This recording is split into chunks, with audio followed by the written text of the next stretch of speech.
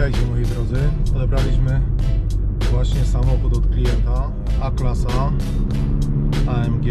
Jedziemy na zmianę kolorów pasów.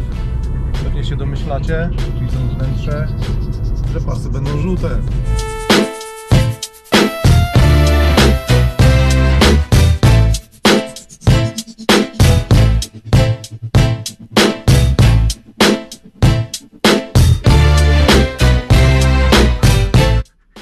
Stapujemy silnik. Na 1.0 turbo? Mm, 900 z renówki. Nie wiem czy nie za dużo mocy. No ale będzie lżejszy. Będzie się lepiej prowadził na zakrętach. Oszczędniejszy. Tak, tak, przód nie będzie wtedy. No. Ale też na przód napęd na pewno przerobimy. Zrobimy, no możemy bezpiecznik, bo tu na pewno idzie po bezpieczniku. Eee, ten dołączany napęd. Możemy spokojnie wypiąć.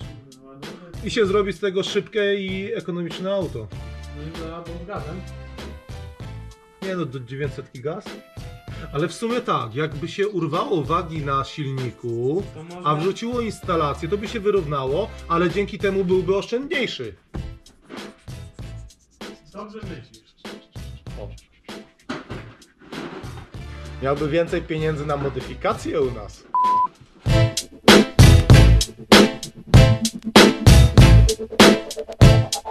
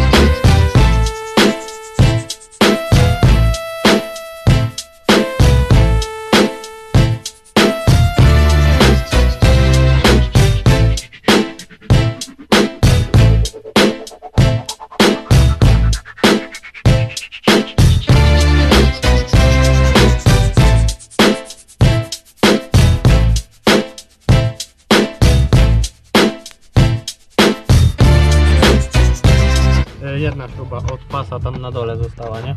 To tam włóż w ten gwint. Nie mów mi jak mam żyć. Nie jesteś moją prawdziwą matką.